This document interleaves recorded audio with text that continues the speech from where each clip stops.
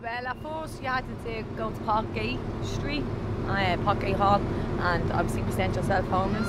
Uh, and then they tell you you have to bring the free phone every night to see if there's a bed available. Um, I rang the free phone for about a month straight, and there was nothing available for me for the whole month. Then I had to get um, a letter to prove that I was actually homeless, that I was um, that my lease was up in the place I was renting. And once I gave them the letter, that's when I was booked into Mountjoy Street. My process was I went to Wood Quay because I hadn't got a clue. Um, Wood Quay, the social worker in Wood Quay then referred me up to Park Parkgate Street, and I was given when I went in um, and I declared myself as homeless. I was asked questions like, could I not go back to my ex, who I hadn't been with for a long time? I was asked, could I not go back to family? And I told him it was due to personal reasons. I was also threatened with social services, told that my child could be taken off me if I'm homeless. And I went back to Wood Quay because I was in a state. I was given a mobile number with a digit missing and told to self accommodate. I didn't know what self accommodate meant. So I went back to Wood Quay, The social worker in Wood Quay, fair play to her, she, she kind of found out what self accommodation meant and helped me look for a hotel. So that was kind of my experience. And then I was in a hotel then for two weeks. I was taken into hospital then for a week and a half. And then I was given Mountjoy Street where we were told we are there till we were housed. And that was it. Um, do you feel that DCC, Dublin Council did a good job in trying to help you?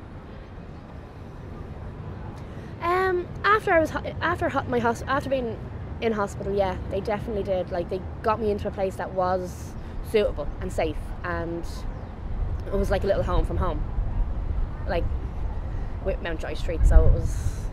I felt then they did, but I had no contact. Like I wasn't told where I was on the list or anything, or who to contact, or I was just told to basically wait there till I was housed. Well, for me, um, it's completely different. They told me that I wasn't on um, homeless priority, that I was just on the normal housing list, and that it would take me up to eight years to be housed to go back out and look to rent again.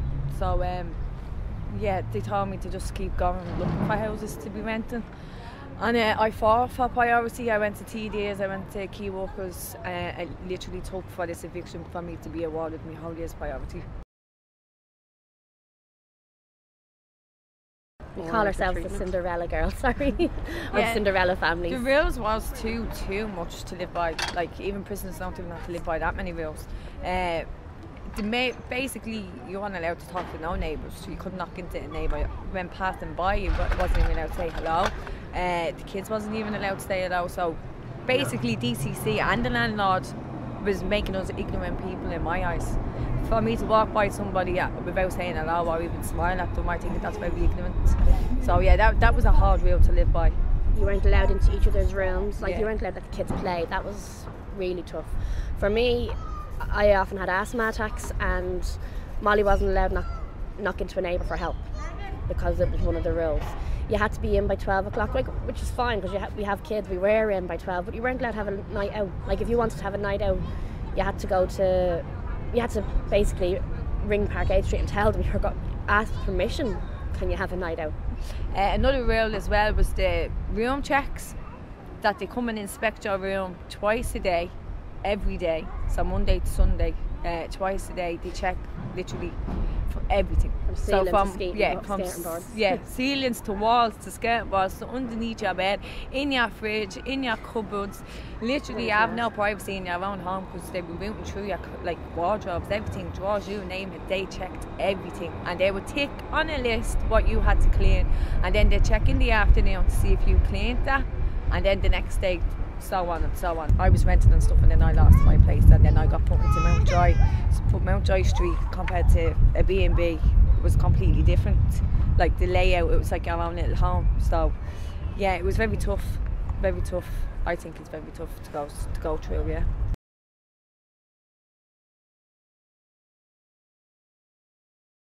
I went to bring the child to school, and then that was obviously Thursday morning, wasn't it? Um, I came back about half nine. Uh, the landlord himself and a staff member was on.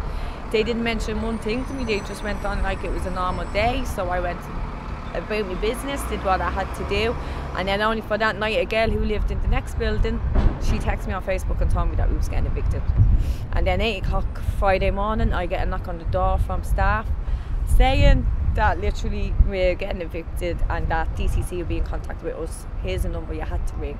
So I rang that number, that was DCC, and then that's when they just told me that I was already booked into the Regency Hotel, that they booked me in that night.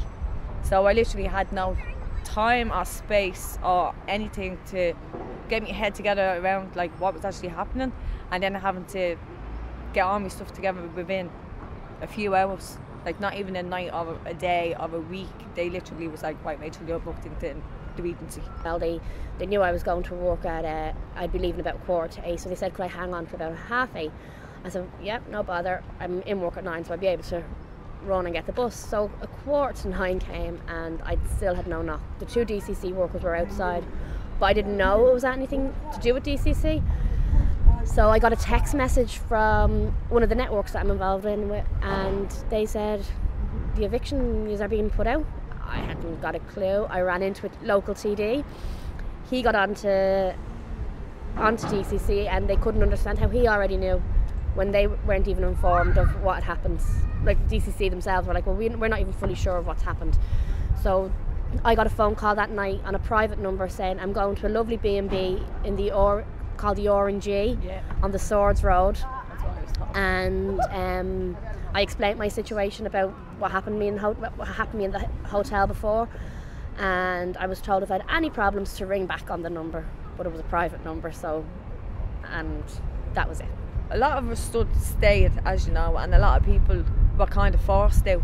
So when we seen the way the Dublin Corporation tried to force people out of the buildings, that's when we kind of was like, right, okay, this way, this treatment is not necessary. This treatment is actually wrong. So if we come together and stand together and fight together, that they'll have to listen to us. But like the way they did just come in and try to shift people off, that that was just how that that was a disgrace, and they should be ashamed of themselves. They really should. It was amazing the support, Yeah. um, just amazing.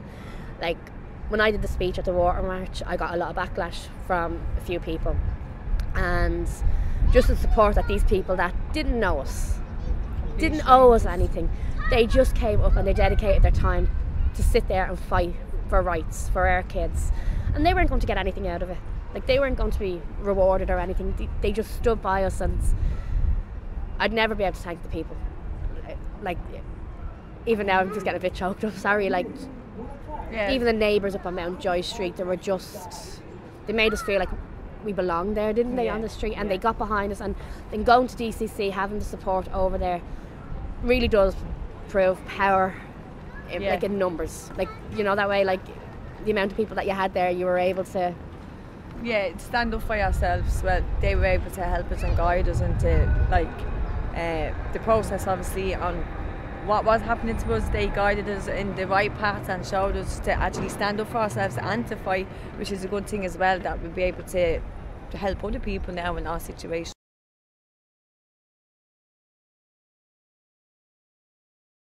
No options, there's one option.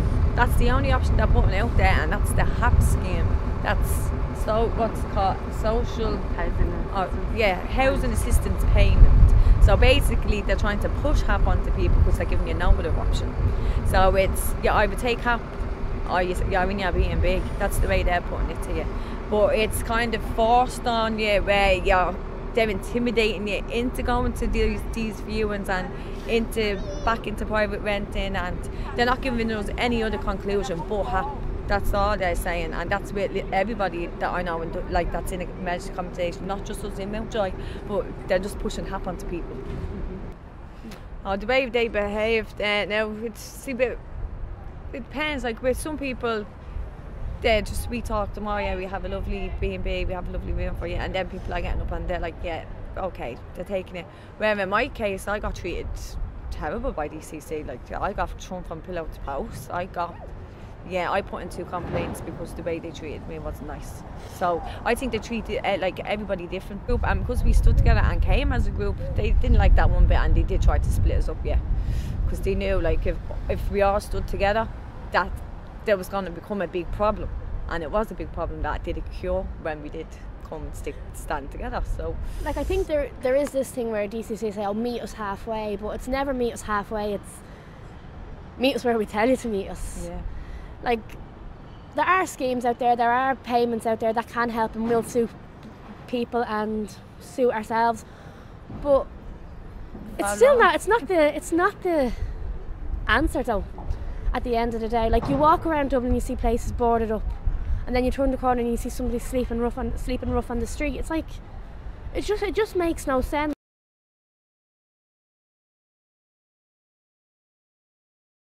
For the government to get their money out and stop the, all them empty houses and empty flats and everything and buildings to build houses for people, not to go off and pay landlords to rent. The amount of money they're actually wasting, and then to actually buy houses off landlords just so they can rent them. That's yeah, they should put all that money into social housing, for affordable housing, so that we can all have a proper home that we're entitled to. It is a continental right to have a safe and secure home. So yeah, the Dublin Corporation should do their job that they said they were going to do. like I think it's quite unfair. Like as I as we always say, there's always a different story behind every case. But like there's people that have come up towards me and have said like I, I went for a mortgage but I can't get a mortgage because I was in a relationship and I had one or two kids. I'm being refused a mortgage because my kids are being classed as a bill. Like how are they expecting people to buy houses? I I just I personally blame the government myself. I don't blame I think DCC have a job to do. I think it's the government that have put DCC in this situation where, look,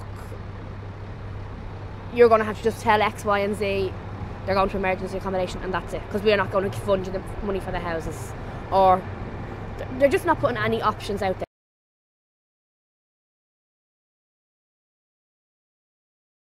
Stand together. Yeah. Stand get together. everybody that you can, everybody I think that's in homeless accommodation should stick, come together, protest, do petitions, whatever it takes, and just yeah, just not get just even in homeless, like people that just want housing, want to be able to afford decent rents or decent mortgages. Like, not I don't decent's not the right word, but affordable. Like how they expect, like. Uh, I was asked like why my ex can't pay re- re- for rent for me and my daughter, and I was like, well, if he's paying rent for himself, how's he going to pay rent for himself and then for me and his daughter? And what he doesn't owe me anything. Yeah, he's for his child, yeah, but not me. Like I did.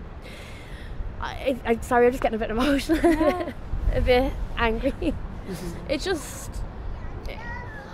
I don't think it should be just all homeless. It should be every man, woman, and child standing together. yeah, true.